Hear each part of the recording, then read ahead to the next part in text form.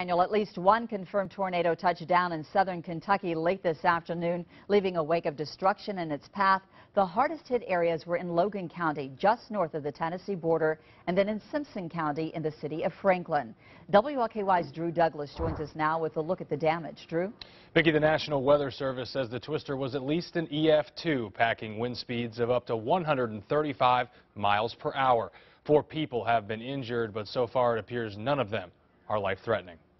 He's just seen a bunch of debris in the air, and wind started blowing hard. Steve Davenport watched as a tornado destroyed a neighborhood in Adairville.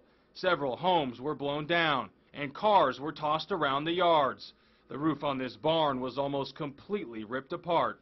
I could actually physically see the tornado coming across the field directly toward the office in my mother's house.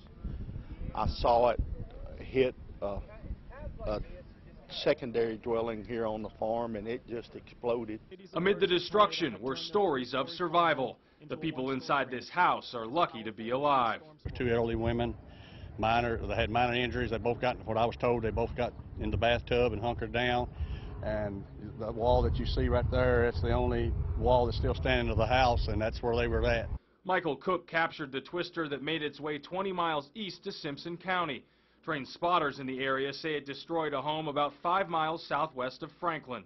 Cook also snapped this photo of a silo that is now just a large piece of twisted metal. This is what just went over top of us at work.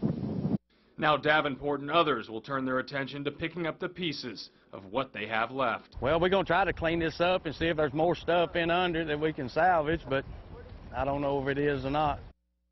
Straight line winds from the same storms were also responsible for property damage, knocked over trees, and down power lines in Greensburg. There are no injuries reported in Green County at this time. I'm Drew Douglas, WLKY News.